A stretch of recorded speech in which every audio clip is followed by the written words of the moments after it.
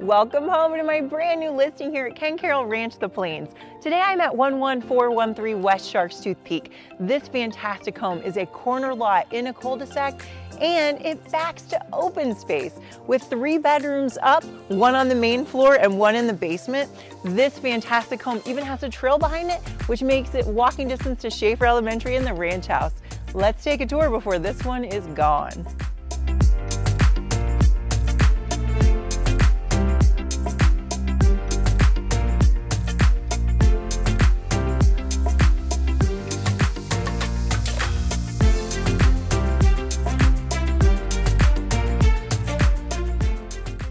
And remember, for all of your Ken-Caryl real estate needs, dream big, call small.